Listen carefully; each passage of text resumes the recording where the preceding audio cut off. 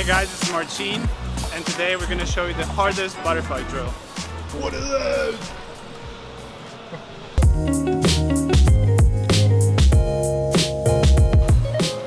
We like to call this drill the hammer drill.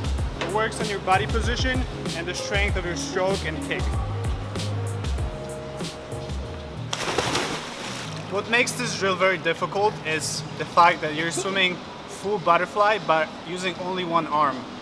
There are a few very important things when doing this drill. First thing would be maintaining the form, which is keeping your shoulders um, parallel to the, the surface of the water. You don't want to twist, move your arm up as you go. You want to keep your shoulders flat and really try to replicate the full butterfly stroke. Another thing would be strong kick. Remember you, you're not using one arm, so in order to maintain the form, you'll have to kick extra hard.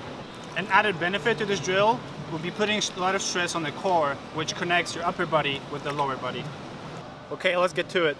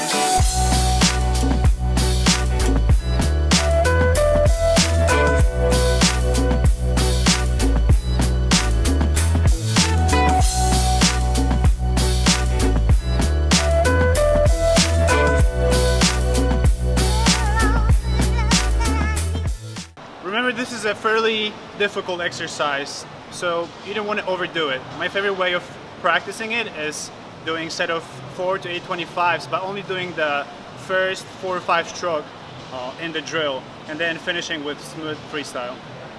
Another thing you could do to make it a little bit easier is adding fins or paddles. Uh, that'll help you maintain the form of the stroke. Okay guys, thank you for watching.